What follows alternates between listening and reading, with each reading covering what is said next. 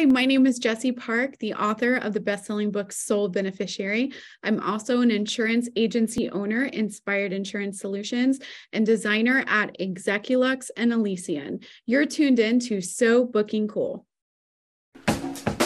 So booking, so booking, so booking cool. That's so motherfucking cool. So listen to So Booking Cool. Welcome to So Booking Cool. It's Jewel B. Today's guest is a driven entrepreneur who went from being a top insurance agent at another agency to starting her own Inspired Insurance Solutions, one of the nation's top agencies in the business. Her other endeavors include the handbag line Execuluxe and her perfume Elysian, she appears on season six of Beta Blox, the competition docu-series about entrepreneurship. Our guest is also an internationally collected artist, keynote speaker, and certified life coach. Her debut bestseller, Soul Beneficiary The Good, Better, Best Guide to Success in Selling Insurance, has been featured in Forbes, Medium, and Bloomberg, to name a few. Here with us today, she is Jessi Park. Stay tuned for our conversation only on So Booking Hi, thank you for having me. Hi, happy to have you, Jessi.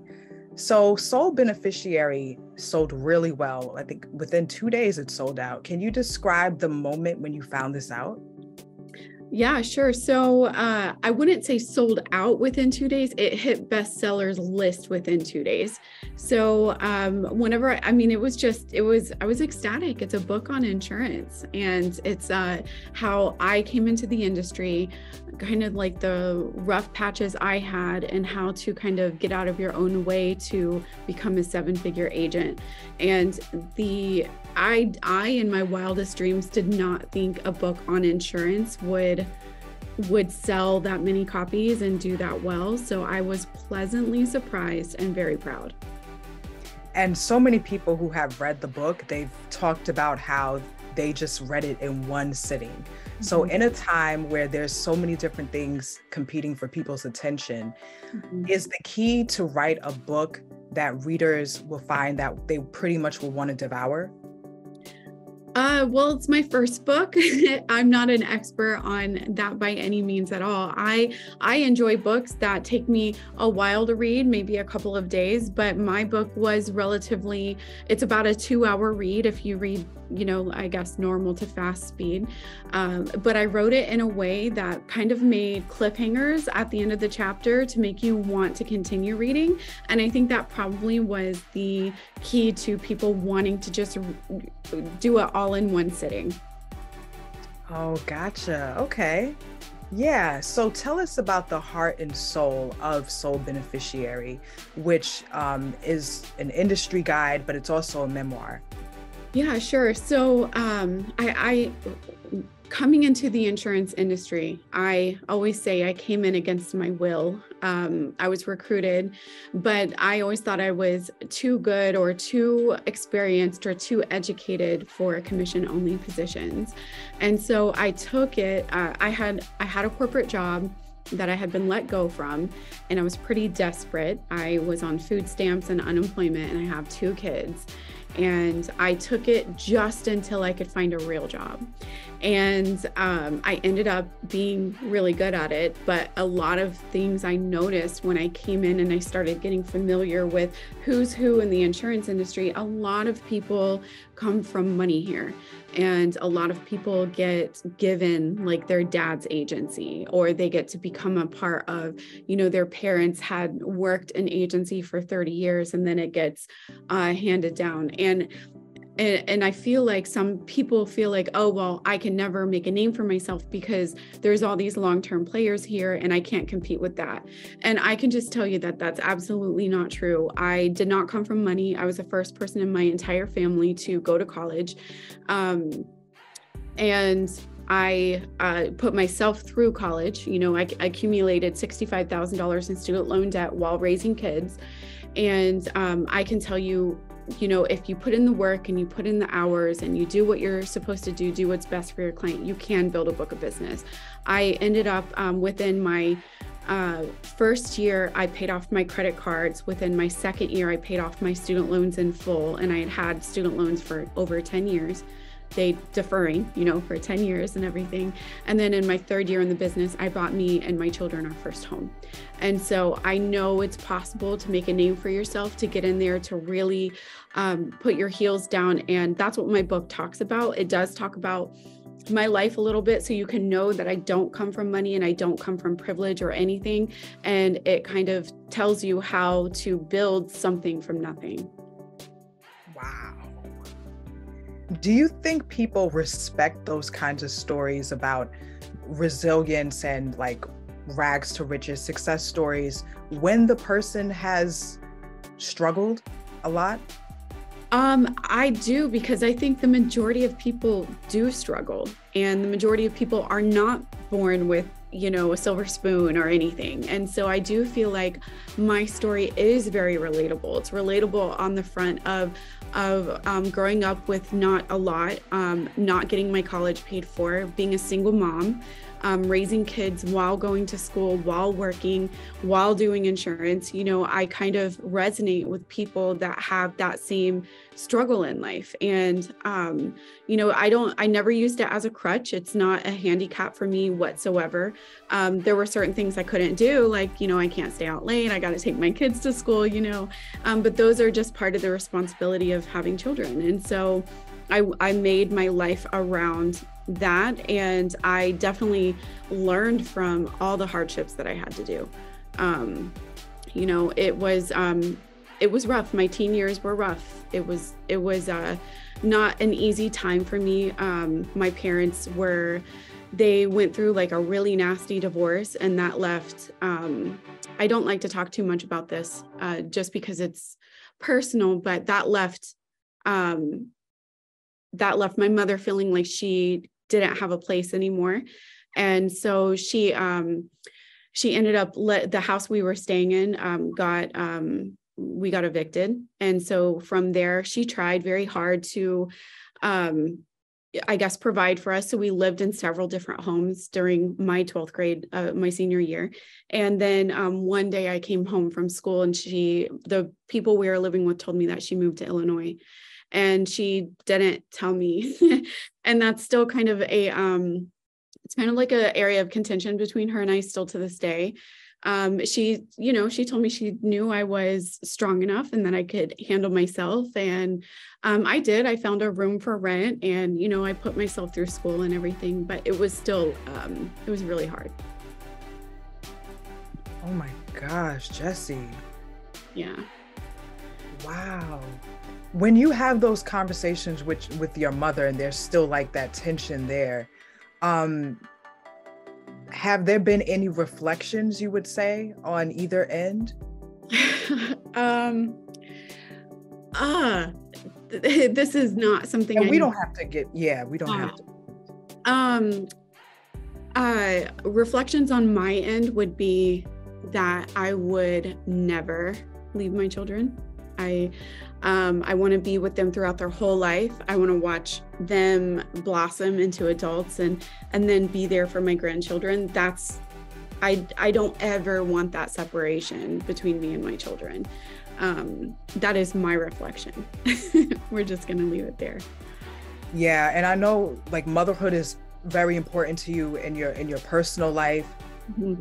your with your wonderful children, and even with your business, with your company inspired um, insurance solution. You at your company, mm-hmm. you have it so there's remote options. So mm-hmm. staff members who are mothers and everything, they can work from home and still like be present with their kids. Yeah, so we I that's really important to me. I really wish I had either known about insurance, which I didn't know anything about insurance whenever my kids were little, or been given the opportunity to work from home. You know, my kids were in daycare a lot and it was just something that I had to do. Um, but uh, I love the fact that we do have remote opportunities for people that want to work from home, whether they're parents or not. Um, but it is it is nice, and we do all of our trainings on Zoom. We record all of our trainings. We do virtual dial days where everyone tunes in, and it's like they're in the office with us together. So I really do try to make it as completely remote as possible, to where they don't feel like they're missing out on company culture, um, uh, rapport building, friendship building, um, finding um, people in the business that they can talk to. I try to make it very easily accessible for people that want to work from home that they can. Love that. Yeah. And you know, you are driven, and that is definitely how you describe yourself. Where did you say that drive has come from? Is it because of those hardships that you have overcome? Oh, definitely. um, whenever I feel like whenever you experience um, being, you know, choosing between paying a bill or eating, that you find yourself saying to yourself, I will never be in this position again. And so I feel like, you know, um, that contributed a massive part to why I work so hard. Because number one, I never want to be there again. I want to have backup plan after backup plan after backup plan. Um, but number two, like I want to leave my kids something. I want to leave my my children um, a legacy. I want. I don't want them to ever feel that I guess, aloneness and desperation again. Um, that I, you know, they, well, not again because they've never felt it, but I don't want them to feel it um, the way I felt it. So that's really important to me. My daughter actually is an employee of the company. So she's, yeah, she's, uh, she just celebrated her year anniversary and she's 19. So I brought her in as soon, not as, I made her work at Chick fil A first so she could get some real world experience you know but she um she's really good. All the all the agents really love her. She works with um she does agent contracting. So anytime we get a new agent on board she walks them through the entire process. Wow congratulations. That's awesome. Yeah Family that's business yeah. It is good you know and she's making at the age of 19 what i well i made less than that uh, as a single mom of two kids when i was 31 and so I just feel like, um, it, and you know, it probably kind of goes over her head what she has, and and I try to tell her all the time, you know, what I did to get here and how I love providing her with this opportunity, but I also want her to not take it for granted, you know. And so it is a balancing act whenever you have kids to try to still instill that work ethic in them. And um, she does. She works really hard, and uh, I can see us growing the business together to where eventually she'll become owner. And um, my son, I hope he hops in here one day. wow, that is wonderful. You know, is it when it comes to that, like wanting to continue the family business and have your children be a part of that? Is it just the fact that they're your child, or are you also hoping hoping that this is somebody who would this is my child and I want them to also be a part of this business, but mm-hmm. they also need to be good at it? So what can you tell us about that? Yeah, actually, I mean, that's, that's a great question because my son did come in as an agent a couple years ago and he wasn't that good. And so he ended up, um, you know, whenever you're not good at it and you, and I didn't have a salary position for him at the time. And so he um, he's out doing his own thing, and I know he will come back one day. But that was a hard lesson for him to learn because he had to learn that how the work ethic it takes to be a good agent. And at the time, he just didn't have it. He was, I think, 18. Yeah, he had just turned, I made him get a test for his license at 17. So he was just 18 and um, he just didn't have the work ethic. But now, a year or so has passed. I know he does like a manual labor job. And I think I'm let I'm letting him kind of work it a little bit, you know. Um, but I I do think that he will eventually be like, wow, I'm tired of this. I work all day, my body hurts. I make this amount of money per per week. If I go work with my mom in the family business, I could do this, this, and this. But it's a lesson he has to come to. It's a realization that he has to come to, and I'm just waiting. What have been some of the biggest lessons you've learned so far in your entrepreneurial journey? Oh, a lot. Um, um, people want to they they say they want to see you do well until you start doing well. And then you see who, what their true intentions are. That one was a huge lesson for me. Um, you know they they the more you the you know they they say they're so you know they're rooting for you rooting for you. And then the moment you actually hit a home run they're not clapping. And that's a huge telltale sign of who actually is in your corner or not. Um, that one was a big one. The other one and this is like with the insurance industry in general there's a lot of because there is so much money to be made um, it just kind of grabs a hold of people and they start doing unethical things. And um, you got to watch out for that. I always I, I educate consumers and agents. On the consumer side i always tell them to make sure that they're working with a broker not a captive agent to pull up the license of the person that you're working with like do the homework of the person you're working with. Um, don't just trust your your insurance to anyone because if they pick out the wrong plan or lie about the plan they give to you you could have potentially faced bankruptcy you know if you end up accumulating medical debt. Um, the other one, when it comes to agents, I always tell them to ask questions about the agency. What's your vesting schedule? Are you captive? Um, there's a lot of dishonesty in the industry. Wow. Did it start? Do you know if it started off that way or it, with over time it's just become a big thing dishonesty mm. and unethical practices? I mean, I haven't, I've only been in it for six years, almost six years. So I'm not, I don't think I'm a veteran by any means. Um, I'm pretty sure that there's always been dishonest people in any industry whatsoever. So, you know, back in the 50s or 60s or 70s, um, you know, I'm sure that there has always been some sort of dishonesty on many levels. And where does that come from in the insurance world specifically? oh, just greed. I mean, if I sell this policy, I make this amount of money, even though it's not that great for the client. Or if I sell this one, I'll make less money, but it's great for the client. Mm. And it's just a choice that agents have. And and unfortunately, a lot of them are swayed by the money versus doing what's right for the client. Is this something that you think most people don't really realize when it comes to insurance? Oh, yeah. I think a lot of people think insurance is insurance is insurance. Let me just talk to this agent. They'll be able to help me with XYZ, blah, blah, blah.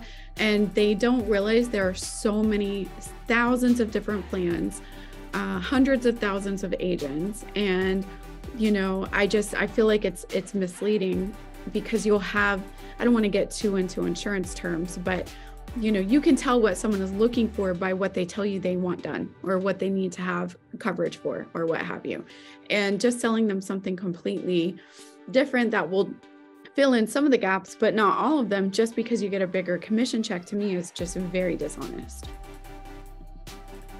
yeah, so that was a lesson that you've had to learn. And you talked about the other lesson of learning that people are not really happy for you once you flourish and do well, like they say. Mm-hmm. And why do you think that is?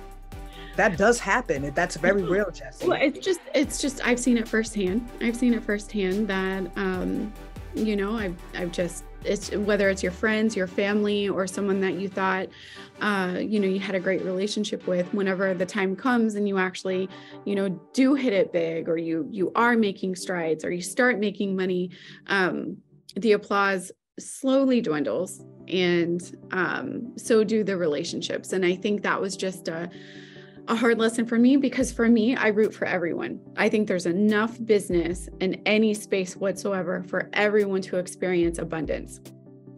Uh, i just may outwork you and that's okay. That doesn't mean i'm better or more talented or anything. It just means i'm working harder. And um, harder work equals more hours equals more clients equals more pay. And so it's just um, you know it's just one of those things. Um, it's a lesson learned. Um, and i think that's just part of growing older and wiser.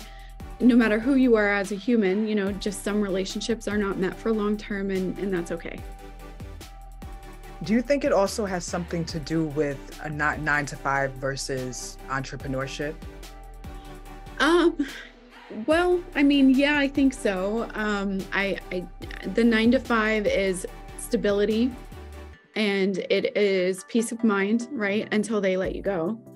Um, but it is, it is for some, it equals stability and everything. But, um, you know, I think the mindset differences whenever you shift from being a nine to five to an entrepreneur, you, it's, you can't treat the entrepreneur job like you did the nine to five. So you can't work from nine and hang up the phone at five and call it a day. That's just not how it, that's not how it is. And so for me, it took me actually a couple months to switch that mindset. I really got to the point to where I was um, on my last month of unemployment when I really kicked it in high gear and I was like, all right, I really need to, if I'm going to do this and make this work, I can't stop working at five. I really need, and so I worked until midnight. Um, and I did that for, I worked uh, 12 to 15 hours a day for six months. And I just, it was kind of a test. If I didn't hit my goals within six months, then I was uh, going to go back to hunting for a job and looking for a marketing position. Um, but I put in that work for six months and it really paid off. It really paid off. I did exceptionally well and I was really proud of myself. And I hit, uh, I hit a milestone that no one had hit before ever in the history of the agency. So it was, um, it was pretty good times. a lot of work. Yeah, you are a hard worker. You have yeah. amazing work ethic. Um, when it comes to wanting to go after one's goals and stuff, how much of it is is also like dedication but luck as well? Is luck a part of it would oh, you say 100% i always tell people that uh, so i pulled there's like certain leads right?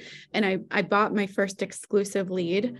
And um, i always tell people i don't know if i was good or if i got lucky but my first exclusive lead i called they bought and so um, definitely luck plays a part of it but i do think that if i hadn't have dialed um, by that time, geez, I had been working age leads for months.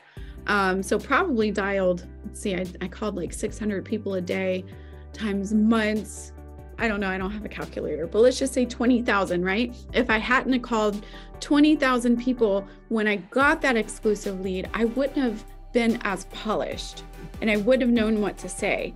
So I feel like my practice on the free leads prepared me for the paid lead. And whenever the paid lead bought, I do think it was a combination of luck, but also my hard work. Now, when you say the lead, for, for those who might not know, what are you talking about exactly?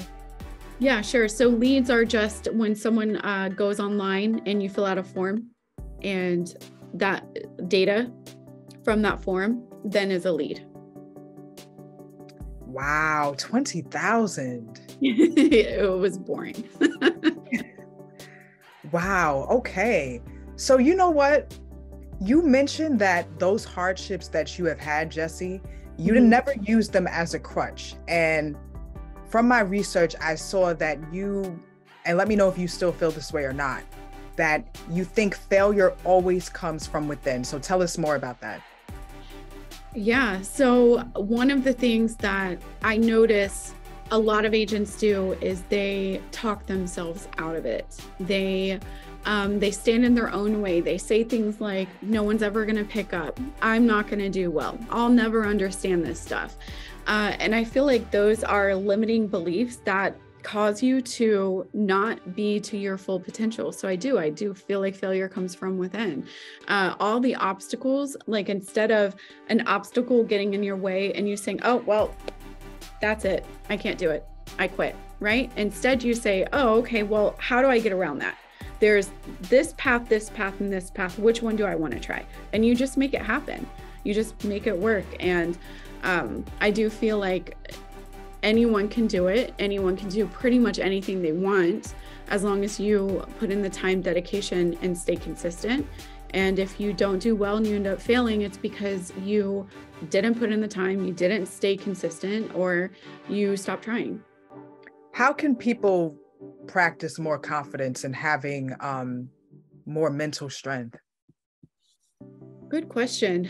Uh, so, my book, Soul Beneficiary, actually has a companion workbook uh, called the the Mindset Shift for Entrepreneurs, and we are in the process right now of. Uh, it's been a while because it's um, it was supposed to be released with it earlier this year, but because of publishing delays, which I have no control over, um, we are actually in the final stages right now of getting it published. So my workbook goes over all of that.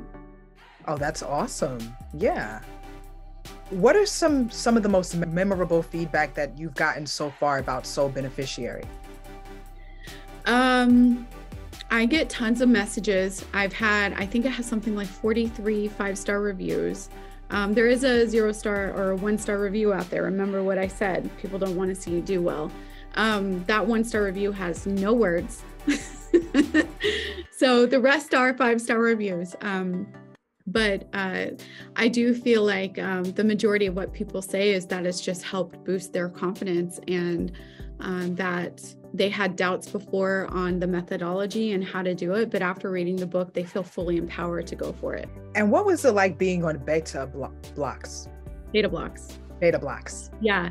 Oh, that was fun. Um, that was memorable. It was a full week in Kansas City, Missouri, and Wes Bergman hosted it. I don't know if you've heard of him. He's he's famous. Um, he, I've I had definitely seen him before. He's been on like 13 MTV shows, so he's like famous in that kind of reality world. Um, he's a wow. genius, by the way. He is so smart, and so he hosts this six-day intensive kind of workshop where you're paired up but also competing against other entrepreneurs. And they started out with 600,000 applicants. They ended up interviewing 60,000. And out of the 60,000, they chose 63 people to come there and compete in this reality TV show. And um, at the end of the week, you are crowned um, first, second, either first, second, most investable, or what is that one category? Um, most investable like most interesting or something. And um, it was just fun. I got to meet a lot of really great people. Um, I may have placed, I cannot tell you yet. Um, but it's like Shark Tank. So think Shark Tank in a reality TV show competing against other entrepreneurs. That's what it was like.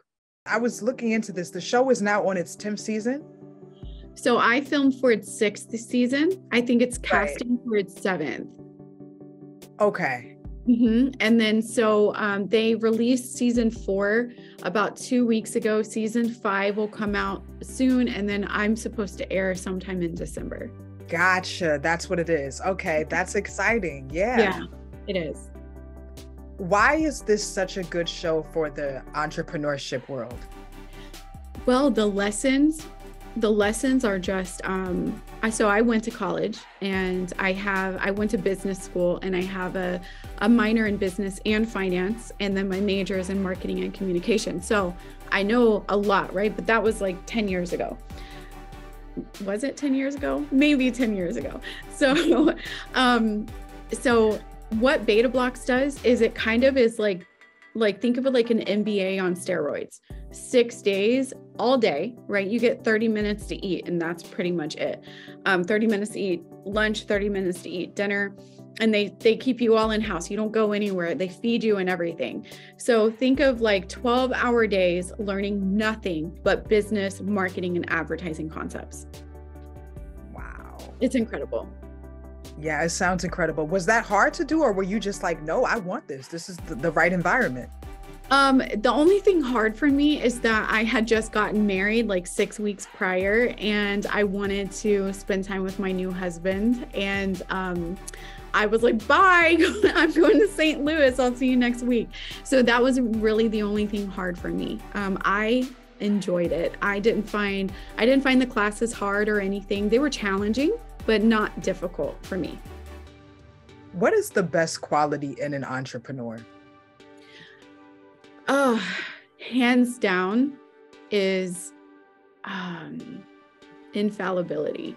No matter what, you keep going. No matter what, no matter what setback, what rejection, what obstacle, um, you keep. Yes, you can take days off. Yes, you can feel overwhelmed. Yes, you can um, really you know, if you need rest, take rest. I'm not saying you're not a robot, so don't act like a robot. But I would just say, hands down, the ability to just keep going. Outwork, outwork your competition every day. Do you also believe in work hard, play later? And what about team no sleep? What are your thoughts on that? Um, work hard, play later.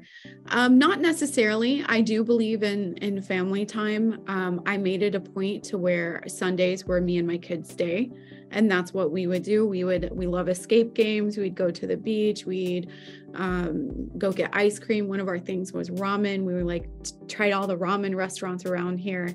Um, I I think the work hard, play later means I, I also feel like I also am a different mentality than most other people because I had children young. So I never did the go to work and then go out and party every single night. I never did that. And then on the weekends, I maybe went out like once every three months, four months. It wasn't, I didn't have that lifestyle. So I think the work hard, uh, work hard, play later is really meant for people that are used to possibly going out every single night or every single weekend. And it's saying, you know, focus your attention right now on building your business and you can play later, maybe in a couple months whenever you've earned it. But that's how my life always was. So um, I just didn't ever, that was never a problem to me. Like, not like, oh, I can't go out tonight. Ah, you know, that was never a problem for me. And then the other one, which was Team No Sleep, absolutely not. I need my sleep. I need my sleep. Um, I don't function well, and I don't believe in detrimenting your health to further your career. Take care of yourself, and if you need sleep, sleep. I, um, that's just that's not me. I like my beauty sleep. Can you tell? yes, you definitely. So, have there been any books that have helped shape you and your journey at all? Yeah, there have. I've actually uh, I listed all the books that I read in my workbook. There is a, a little section in the workbook that has you read all of those books and then uh, tick them off. One of the ones that I just consistently come back to every single time is Mel Robbins' High Five Habit. And that's a mindset book. It's a mindset book about looking at things through a half a glass half full rather than a half a glass half empty. That is really hard to say. Uh, and I feel like sometimes the lens of which we view the world and how we view things really affects us right? Because we assign meaning to everything, whether it has nothing to do with us or not, you know? And so some people can see something and say, you know they were just really rude to me. They didn't look at me. They they looked at me the wrong way. They didn't you know whatever. And then like another person can just say wow it was really great meeting them. They seem really busy but i hope to meet them again sometime soon. Do you see? And it's just like i feel like those that's what high five habit is is kind of just viewing things differently. And i feel like I feel like those things make a huge difference, even if it's just very tiny every single day, but they add up to shape how you view the world. Mm. Okay.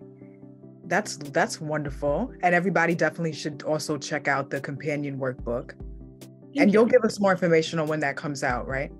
I am just waiting for it to be approved by the publisher, but we are ready to go. Yeah.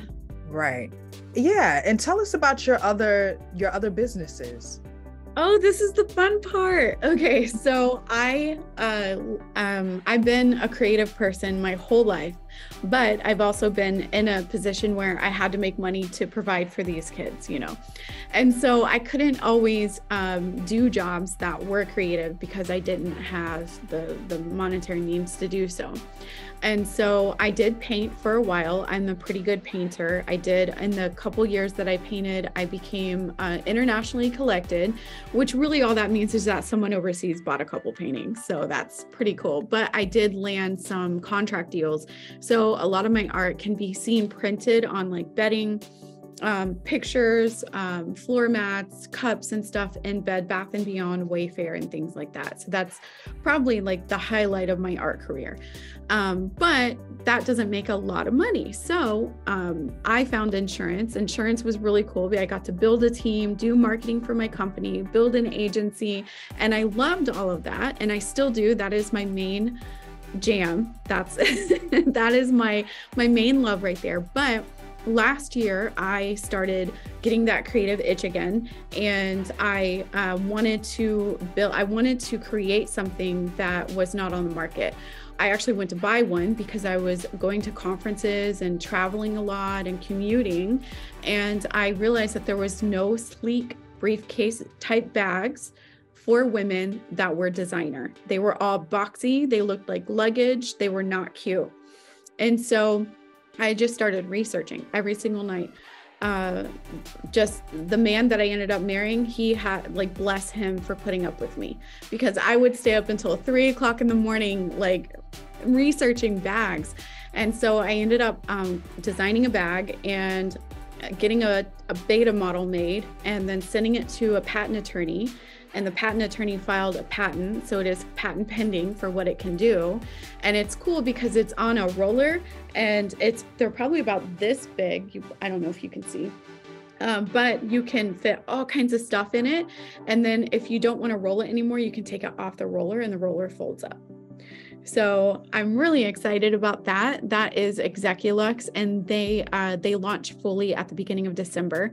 And then my other passion project is perfumes. And um, my sister and I shared a love of perfume together. And she passed away last year from cancer. Um, she was five years younger than me, so it was like very um, earth shattering that that happened. And um, I just thought, you know, I was like, what is something that her and I loved?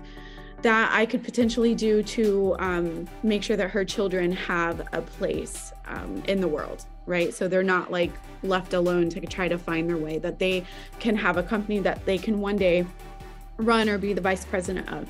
And so I came up with a concept to create designer inspired perfume and I named it Elysian, which is a combination of their names, Evan and Alicia. And um, that one launches tomorrow. Wow. That is very exciting and congratulations on that. Thank you. Yeah. How would you describe the scent of Elysian? Oh, so uh, there's actually 15. So it's not just one, it's 15. Okay. Oh, yeah. okay, okay. Yeah. Yes. And so um, there are four house originals and their names are Jalou, Charmante, Sonder, and House of Elysian. And they all smell a little bit different. And then um, the other ones are designer inspired. So if you love, say, Tom Ford's uh, Tobacco Vanille, instead of paying $400 for it, you can pay $49 for it. So a lot of mine are um, like, think of like major designers Chanel, Creed, Baccarat, um, Tom Ford, uh, Yves Saint Laurent, I have dupes. They're called designer dupes. So I have dupes of their famous fragrances, and um, those designer bottles go for like four, five, six hundred dollars, and then you can get them from me for forty nine dollars. So um, that's the majority of them, and then the house scents are ones that I created, and I'm in love with those. What's the best advice that you could give anyone that wants to start a perfume line, and and and consumers? yeah. what advice do you have for them when looking for the right perfume? Sure. So, uh, for to start a perfume line, um, I so I did everything from scratch, but lately I've been getting ads that say start your own perfume line for $10,000. It doesn't cost that. It costs way more than that to start a perfume line. So I I don't know what they even offer, um, but there's a lot more that goes into it than $10,000. Uh, so my only advice really is just do your research as far as when it comes to that. And then for consumers, um, I mean, wear what you love. Um, wear what you love, and and um, my perfume is called Extrait, Extrait de Parfum. So it is the highest oil concentration that you can get. It's not an eau de toilette or an eau, eau de parfum. It is the Extrait de Parfum. So it is 20 to 30 percent oil concentration. So it's a very potent. It lasts a really long time.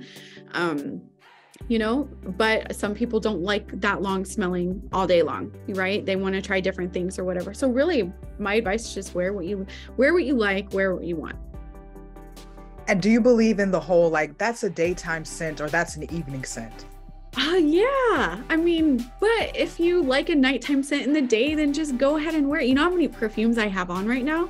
Five. Really? I love them all. I just spray them all every single morning. So I don't know. I think one of them is a nighttime perfume, but who cares? It mixes well and I smell so good. Yeah. Wow. Okay. I've I've heard of some people mixing perfumes like Mhm. two. I Mhm. haven't done that yet. Oh, Wow. you really should. You really should. So you should choose a base scent that you want on your skin, right? And then you're gonna choose like something like I always typically choose like a, a vanilla or a sandalwood or um, like a tonka bean or a caramel for my skin. And then I choose something else over it. And it could be anything. It could be something that you don't think goes like a floral or a fruity, but I promise you they all go together. They all smell so good. Okay. They they you have. I'm gonna check that out. Yeah. Yeah. Do you see yourself writing more books in the future? And if so, what would they be about? Um, I would love to. I don't think it'll be about insurance. Um, I I love insurance. Um, and I love my agency. And like I said, that's my main love. But I feel I don't I don't I'm not feeling drawn to write another book for insurance. I feel like the one I have out is good enough. um, if I do write another book, I think it would be something about like following your passion or being an entrepreneur in general and kind of how to get started with um uh I don't know, making an idea come to life. Yeah, you, you would be great for that. hmm Thanks.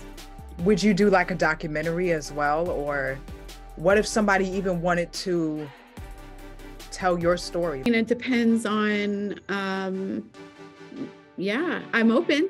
I'm open to it. It would depend on, you know, obviously how much they were going to pay me and who would play me, you know. And see, is that something that you would rather do yourself or you would be okay with someone taking this on as long as, you know, you can be involved and they pay well, of course?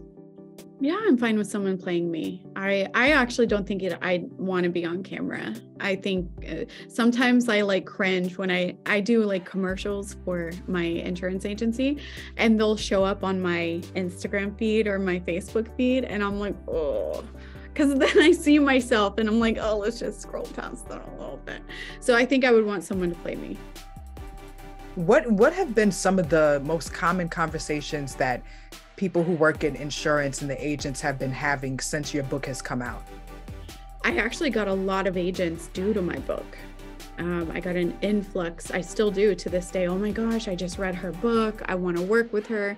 Um, the conversation really would be you make it seem so easy, and I'm having such a hard time with it. And then so we dive, we go deeper. What are you having a hard time with? Time management or whatever their answer is. And if it's time management, I say, okay, so what do you have to do every day? Do you have to take your kids, pick them up, whatever?